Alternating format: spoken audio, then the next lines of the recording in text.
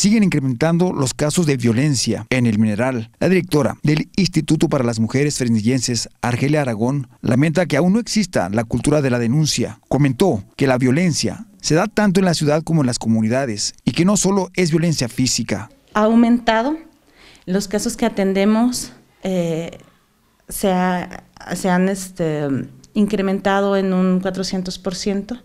Ahora estamos atendiendo también a niños que sufren de angustia, de estrés, de violencia familiar. Y lo más lamentable es de abuso sexual. Tienen al agresor en casa. Por ello es muy importante la cultura de la denuncia y que sepan que debe existir la justicia y que debemos exigirla, que debemos reclamarla. El machismo este, no es endémico de un área.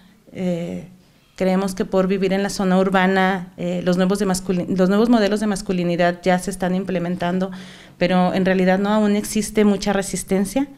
Eh, aquí atendemos, bueno, principalmente a personas de la ciudad porque pues les queda más cerca venir al instituto, pero en realidad eh, también la violencia se da en las comunidades rurales. Existen muchos tipos de violencia, la violencia psicológica, la violencia laboral, la física, la estructural, la sexual, incluso el, controlar lo que, lo que escribimos en Facebook, el revisar nuestro celular, el controlar cómo nos vestimos, el controlar nuestras amistades, estos son también tipos de violencia, ¿no? Son micromachismos. Eh, es algo a lo que estamos expuestas todas, porque está muy arraigado, porque esto ya lo venimos cargando de muchas generaciones atrás. Entonces sí existe resistencia. Con información de Ernesto Vázquez en cámaras, Marlene Hernández, B15 Noticias.